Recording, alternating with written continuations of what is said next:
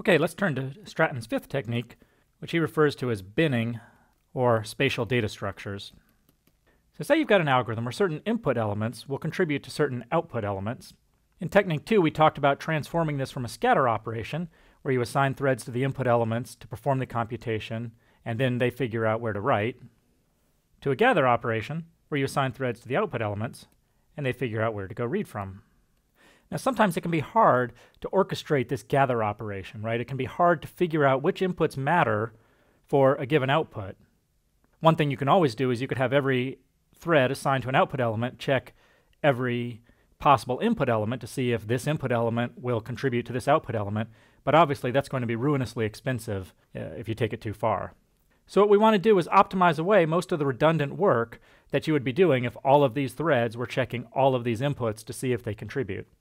And we're going to call this binning. So binning is when you build a data structure that maps output locations to the relevant input data. And a point that I want to make is that this data this will work best when you're mapping the output locations to a relatively small subset of the input data. Stratton and company call the creation of this data structure binning because it often reflects a sorting of the input into bins that contain uh, often a region of space, representing a region of space containing those input elements that are relevant. So let's look at an example.